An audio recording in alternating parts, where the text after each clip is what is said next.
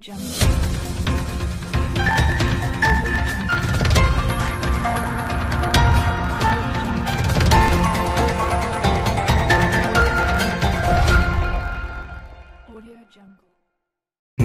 आप सबका स्वागत है। इनके पास नसों की ब्लॉकेज खोलने का शर्तिया इलाज है। जो दवा वह करते हैं, उसका कोई साइड इफ़ेक्ट भी नहीं है। बस उनके तरीके अनोखे हैं। वह छेनी हथौड़ी उठाकर पीठ के अलग अलग हिस्सों पर ठोंकते हैं। कभी कील से तो कभी लोटा भी उठा लेते हैं। बड़े बड़े डॉक्टरों के पास इलाज कराने के बाद भी जो दर्द या मर्ज नहीं जाता है, वह यहाँ पर दूर हो सकता है। वह भी काफ़ी कम फ़ीस देने पर। यह दावा अंतर्राष्ट्रीय वन मेले में आए ग्रामीण वैद्य करते हैं। वह पहले इसका डेमो भी दिखाते हैं। ये मेला भोपाल के लाल परेड ग्राउंड में लगा हुआ है।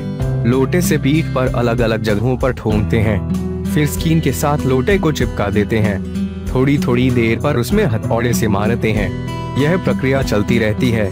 वह लोगों को इलाज के ऐसे सूत्र बताते हैं, जो वे खुद कर सकते हैं। उनका कहना है कि ब्लॉक होगी, नसों को खोल देते हैं। इसके लिए वह छेनी और हथौड़ा से पीठ के अलग अलग हिस्सों पर ठोंकते हैं। कई लोगों ने बताया कि इलाज के बाद काफ़ी आराम महसूस हो रहा है। साथ ही जोड़ों के दर्द और खतरनाक सोराइसिस का इलाज भी उनके पास है। पीलिया लकवा और जोड़ों का दर्द का इलाज भी ये वैद्य करते हैं।